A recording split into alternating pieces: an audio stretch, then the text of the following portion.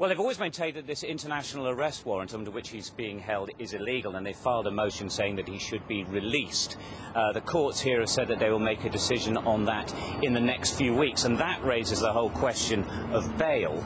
Now, my understanding is uh, that Roman Polanski will voluntarily go into house arrest at his home in Gstaad. We think that the paperwork for that uh, will be filed in a bail request probably uh, tomorrow. The only problem for them is that it has never happened uh, in Swiss legal history. We think that the federal courts uh, will have to be involved in that, and it could, of course, uh, take a long time. But that is, uh, at this stage, their best hope of trying to get him out. Of course, according to French lawyers, it's taking a terrible toll on his family, but they say both they and the director are determined to fight on.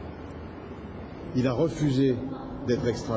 He refuses to be extradited, and we are asking for bail, and I wish this request of freedom will be looked at as soon as possible. A lot has been said on this, but his arrest is completely outrageous. We are doing everything we can to get him out of there. Stuart shouldn't make a difference, but of course it does. Polanski is extremely popular, isn't he? Not only in Europe, but he's got plenty of friends in Hollywood as well.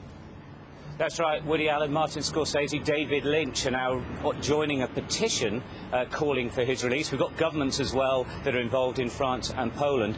That petition started here at the film festival, of course, which is where he was arrested on his way uh, for a commemorative evening and a Lifetime Achievement Award.